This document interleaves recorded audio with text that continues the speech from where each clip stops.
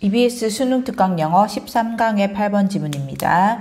Revestigation techniques are put in place with an, with an understanding of the resultant effects on wildlife. 우리가 vestigation 하면 이제 초목을 말하는 거죠. 뭐 나무 식물을 포함한 초목이고 revestigation 하면 재 그러니까 위가 들어서 재녹화 이렇게 돼서 그러니까 원래 식물이 없는 곳을 다시 이제 녹화 지역으로 만든다는 거죠. 이제 식뭐 초목을 심어서 다시 녹화 지역으로 만든다는 이런 재녹화 기법은 are put in place. put in place 하면 put something in place 하면 뭐뭐를 시행하다라는 뜻이거든요. 이제 이게 수동태가 되어서 여기 be, pp 보이죠? are put 수동태가 되어서 시행되다 라는 뜻이고 이제 우리가 흔히 쓰는 뭐 are까지 같이 써야 됩니다. 여기 are 써서 carried out. carry out 하면 어, 시행하다 라는 뜻이죠. 뭐뭐를 시행하다, 수행하다 또는 뭐 여기 carried out 대신에 뭐 enforced 이렇게 쓸 수 있겠죠. are enforced 수동태로 또는 뭐 are put in place 대신에 are put in operation 또는 effect 이렇게 써도 시행하다라는 뜻입니다. 네, 이제 이런 재녹화 기법이 시행된다. 뭐와 함께 이해와 함께 of가 이제 뭐에 대한 이유죠. resultant 하면 형용사로 이제 결과로 발생하는 그 결과로 일어나는 이런 의미의 형용사고요. 그래서 그 결과로 발생하는 effect, 영향에 대한 이해인데 어디에 끼치는 영향이냐면 on wildlife, 야생 동물이죠.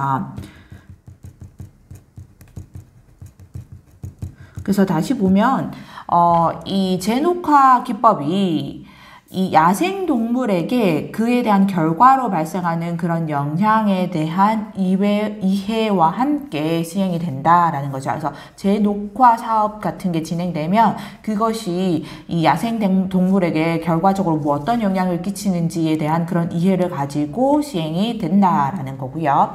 For instance 하니까 예를 들어서 라니까 그에 대한 예가 나오겠죠.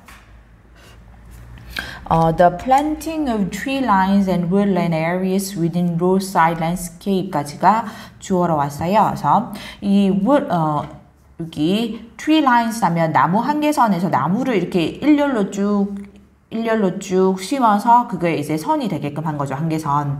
그래서 나무 한계선과 그리고 어, woodland 하면 산림 지역이죠. 근데 그걸 어디에 within roadside landscape이니까 roadside가 이제 도로변, 도로가죠.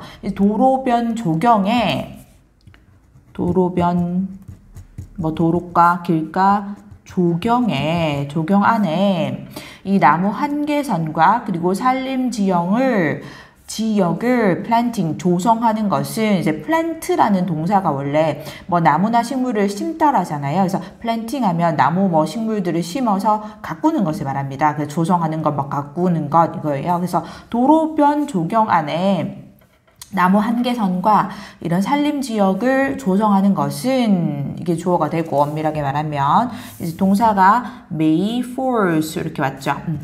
자연적으로 어, force 목적어 목적격 보어입니다. 목적어 목적격 보어 자리에 to부정사밖에 못 써요. 그래서 to fly 왔죠. 그래서 목적어가 뭐뭐하게 강제하다라는 뜻인데 이제 자연적으로 이 새들이 더 높. 높게 날도록 강제한다. 어떻게 더 높게? above roads 이거죠. 다, 그 도로 위로 더 높게 날도록 강제한다. When crossing between forest edges 뭐 할 때 이 그들이 이제 새들이 그 건너는 걸 말하죠. 그 새들이 이 숲의 edges 경계 사이를 건널 때 그죠? edges 여기서 경계 경계선 이거죠. 그러니까 이 양쪽에 숲이 있고 그 숲 사이에 이 숲 경계 사이에 도로가 있을 때 그 도로에 이 도로변에 도로가에 이 조경 지역으로 나무 한계선이나 또는 이런 이렇게 작은 산림 지역을 조성해 놓으면 이 도로를 건널 때 당연히 이 나무 때문에 새들이 더 높게 날게 한다는 거죠. 강제적으로 더 높게 날게 되고 그러면 이제 새들을 그런 부분에서 보호할 수 있다는 거죠. 음. As was shown in the Netherlands. 자, 여기서 as는 어,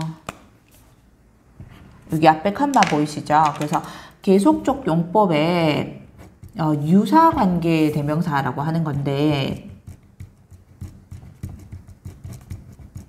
이제 관계 대명사처럼 어, 주격이나 목적격으로 사용돼서 그럼 지금은 이제 주어가 생략된 주격인 거죠. 주격으로 어, 사용되는 거고 관계 대명사처럼 이렇게 명사와 그러니까 대명사와 그리고 접속사의 역할을 함께 하는 겁니다. 그래서 여기서는 이제 접속을 해주기도 앞절과 뒷절을 연결해주기도 하면서 여기 주어를 대신한 이제 대명사의 역할도 같이 하는 거죠. 그래서 우리가 쉽게는 이제 계속정법의 관계 대명사 which 알죠? 그래서 위치라고 비슷하게 쓰였다라고 보시면 돼요. 이제 근데 이제 as랑 이렇게 우리가 많이 쓰는 그 관계대명사 위치랑 요 차이점은 여기서 which를 쓰면 and it was shown in the Netherlands 가 계속정법의 관계대명사가 되어서 그리고 그것이 네덜란드에서 보여졌다라는 건데 그 똑같은 것이라는 느낌이고 as를 쓰면 그 같은 종류의 것 그러니까 완전 특정한 그것이라기보다 그 같은 종류의 것이 네덜란드에서 보여졌다라는 느낌입니다. 크게 차이는 구별하기는 힘든데 그래서 어, 유사, 주격 유사 관계 대명사로 쓰였고, 그래서 계속정법으로 썼고, 앞에 컴마가 오고, 이제 그 as가 오고 주어가 빠져 있다라는 정도의 느낌? 그래서 which 같은 느낌이라고 생각하시면 좋을 것 같아요. 그래서 의미는, 의미는, 그리고 그것이 이제 네덜란드에서 보여졌던 것처럼 요겁니다. 그리고 이제 선행사는, 이 as의 선행사는 앞절 전체가 되겠죠. 어, 선행사가 앞절 전체입니다. 앞절에서 설명을 했던 부분이 되는 거죠. 음, 좀 복잡해 보이는데 다시 보면 예를 들면 이 도로변 조경안에 조경안에 이 나무 한계선과 그리고 이 산림지형을 조성하는 것은 어, 자연스럽게 새들로 하여금 그 도로 위로 더 높게 날게 한다. 그 새들이 이 숲의 경계선 사이를 건널 때 그리고 그것과 같은 것이 이 네덜란드에서 보여졌다. 이렇게 되는 거죠. 아까 말씀드렸듯이 이 선행사가 앞절 전체니까 그것이 앞에 이 설명했던 것이 본 게, 보여준 게 아니고 보여진 거죠. 네덜란드에서. 그래서 수동태로 was shown 이렇게 왔습니다. 그리고 선행사가, 어, 쌤이 앞절 전체라고 했을 때 우리가 계속정법의 관계대명사가 앞자를 받을 때 단수로 취급이 되죠. 그래서 was shown 이렇게 왔고 자 넘어갈게요. Verges should be widened. Verges는 여기 나와있죠. 길가, 도로변입니다. 음, 길가. 이 길가가 도로 이 옆, 옆을 말하는 거죠. 이 길가는 should be, should be widened. 넓혀져야 하고 그리고 landscape planting 어, 이 조경의 조성이 on bands or curves. 이 band는 이렇게 이렇게 구, 구 이렇게 굽어지는 길이죠. 굽어지는 길이고 curves는 이렇게 이렇게 둥글게 구, 굽어지는 길이에요. 이게 한국어로 쌤이 정확하게 이렇게 구별하기 좀 힘들던데 이제 밴드는 이렇게 도로가 이렇게 좀 약간 직선의 형태로 굽어지는 것, curves는 이렇게 약간 굴곡진 것, 이렇게 곡선으로 이렇게 굴곡진 것을 말합니다. 그래서 도로에 도로 위에 이 굽어지는 길이나 굴곡진 길 위에 이렇게 조경을 조종하는 것은 까지죠. 그래서 이제 여기 첫 번째 절은 요게 주어고 요게 should be widened 동사로 온 거고 이제 접속사가 오고 다시 여기에서 여기가 이제 두 번째 주어가 오고 그다음에 should be set back 이렇게 두 번째 동사가 왔다고 보시면 돼요. 그래서 어 다시 보면 어, 길가가 도로변이 확장되어야 되고 그리고 이 도로 위에 있는 이런 굽어지는 길이나 굴곡진 길 위에 그렇게 조경을 조성하는 것은 should be set back, 저지되어야 한다. be set back 수동태로 써서 저지되다라는 뜻입니다. 그러니까 제한되다라는 의미죠. 그래서 뭐 restrained 여기 똑같이 should be 하고 restrained 이런 느낌으로 보시면 돼요. 제한되어야 한다. 자, 이 두 가지가 뭐를 위해서 to improve visibility 자, 첫 번째는 이제 가시성이죠. 그러니까 우리가 잘 볼 수 있는 그 정도를 말하는 가시성인데 그 가시성을 이 향상시키기 위해서 그다음에 두 번째는 and to discourage crossings by wildlife. 어, 이 야생 동물에 의해 길을 건너는 것을 저지하기 위해서 뭐 저지하다, 막다 이런 뜻이죠.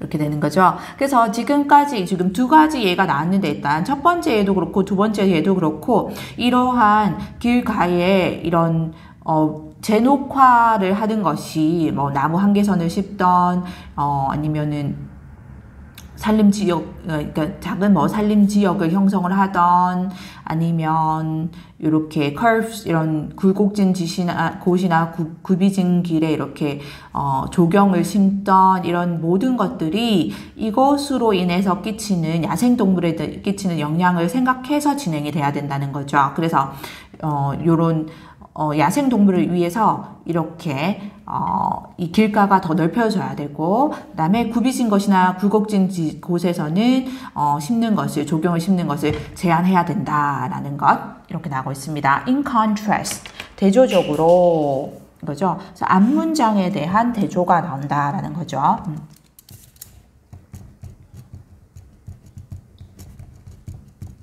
뭐 on the other hand로 바꿀 수 있죠 우리. 음, on the other hand.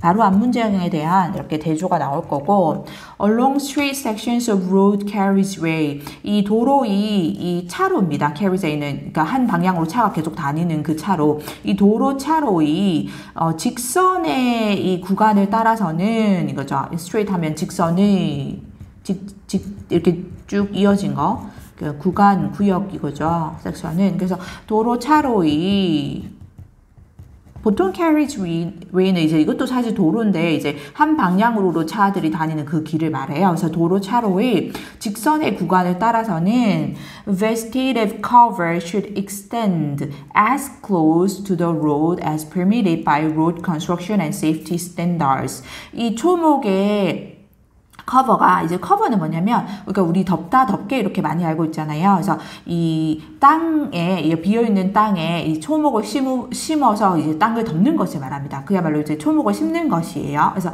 초목을 심는 것이 어, should extend 이게 extend가 뭐 확장하다 뻗어 나가다 이거죠. 뻗어 나가다 아이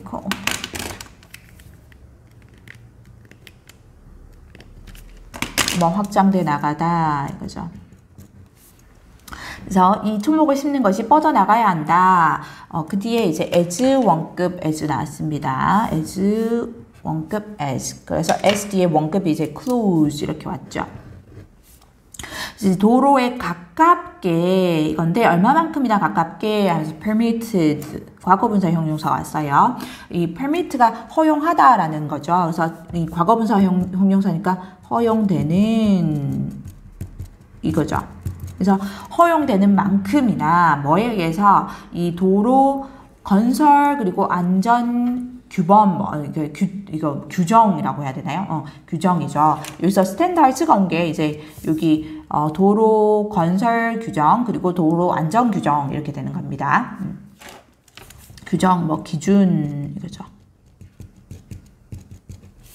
그래서 도로 건설 기준 그리고 도로 안전 기준에 의해서 허용되는 것만큼 허용되는 그 것만큼 그만큼 최대한 허용되는 만큼 도로에 가깝게 뻗어 나가야 한다 이거죠. 그래서 여기 대조적으로라는 이유를 쓴 거는 그러니까 요 연결사를 쓴 이유는 이런 굴곡진 곳이 아 굽이지는 곳이나 굴곡진 곳에서는 이 조경을 조성하는 것이 저지되어야 된다 했죠. 제한되어야 된다 그랬어요. 그리고 도로 변이 최대한 넓혀 도로가가 이렇게 최대한 넓혀져야 되는데 반대로 이 직선 구간에서는 차로가 직선으로 쭉 이루어지는 이런 직선 구간에서는 이런 초목을 심는 것이 최대한 이 도로 건설 규정이나 도로 안전 규정에 허락하는 만큼 허용되는 만큼 최대한 차로에 도로에 가깝게 뻗어 나가야 된다 이거죠. 그래서 대조적으로 썼고 이제 근거는 여기서 왜 그런지는 이제 이유는 구체적으로 설명은 안 했지만 이건 역시 어 아마 이 와일라이프 야생 동물에 끼치는 영향을 생각했을 때 이렇게 해야지 야생 동물에게 오히려 더 긍정적인 영향을 끼칠 수 있겠다 생각할 수 있겠죠. 음. landscape landscaping of center medians, junctions, roundabouts, or interchanges should be sensitive to wildlife. 이렇게 주어는 landscape, landscaping입니다. 이게 주어죠. 조경을 하는 것이죠. 뭐 조경을 조성하는 것 어디에 이 중앙 분리대나 어, 정션 하면 교차로나 그다음에 roundabout 하면 로터리 또는 interchanges 분기점이죠. 그래서 이런 것들 그러니까 그냥 딱 봐도 굉장히 이제 도로가 이렇게 쉽게 일, 일직선으로 뻗어나는 게 아니고 이렇게 좀 복잡한 지역인 거죠. 그래서 이런 지역들에 조경을 하는 것은 이게 주어고 여기가 should be 동사 맞죠? Should be sensitive.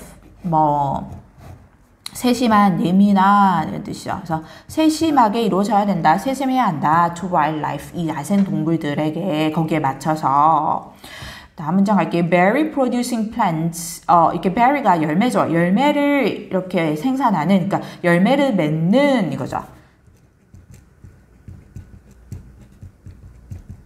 이 열매를 맺는 그런 plants, 식물들은 should not be selected. 이 선택되어서는 안 된다. 이거죠. as는 여기서 그러니까 because랑 같은 because 또는 since랑 같은 뭐뭐 때문에고 뒤에 원이 나옵니다.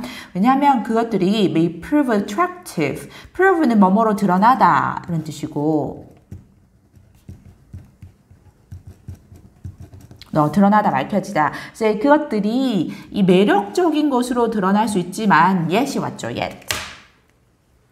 여기 as니까 요거 뒤에 여기서부터 여기까지가 다 이제 이유를 앞절에 대한 이유를 얘기해줬고 여기 wet이 왔으니까 yet이 왔으니까 바로 앞에 대한 반대가 옵니다. 음, 이제 매력적으로 드러날 수는 있지만 하지만 filter 치명적인 이거죠. 그래서 치명적으로 드러날 수도 있다 이거예요. 그래서 prove 뒤에 형용사 연결돼야 되거든요. 뭐뭐로 드러나다. 그래서 이렇게 형용사, n 형용사 연결이 됐죠. 그래서 누구에게 치명적이면 to wildlife 이 야생 동물들에게 치명적인 것으로 드러날 수도 있다 이거죠. due to 해서 다시 왜 그런지 이제 어 이유를 설명해주고 뒤에 due to니까 전치사니까 명사 구가 왔다라고 생각할 수 있죠. 그래서 명사 구 뒤에 the close proximity of traffic 이렇게 왔고 due to는 뭐 because of 또는 어, owing to 이렇게 바꿀 수 있는데 because나 since로 바꾸면 안 되는 거죠. because나 접속사인 또는 since나 또는 as로 쓰면 안 됩니다. 음. 자, 뭐 때문이냐면 이 교통 흐름의 이 매우 가까운 근접성 때문에 거죠. 근접성이고 어, 어 이거 attractive는 어, 매력적인 거죠. 그래서 이제 미관상으로는 매력적으로 보일 수 있지만 매력적으로 드러날 수 있지만 그래서 이게 미관상으로는 긍정적일 수 있지만 결국은 야생 동물에게 치명적일 수 있다는 거죠. 왜냐하면 어, 요 도로가에 당연히 열매를 맺는 식물을 심으면 야생 동물들이 열매를 따먹으려고 도로 근처로 와서 다칠 수 있다는 거죠. 어, 그래서 이것도 역시 이 야생 동물들에게 끼치는 영향을 생각을 해서 선택되어야 된다라는 거죠. 다시 보면 열매를 맺는 식물들은 선택되어서는 안 된다. 왜냐하면 그것들이 대는 당연히 열매를 맺는 식물들을 말하죠. 그것들이 매력적으로 드러날 수는 있지만 어, 이 교통 흐름과의 이 가까운 근접성 때문에 야생 동물들에게 치명적일 수 있기 때문에 이렇게 됐죠.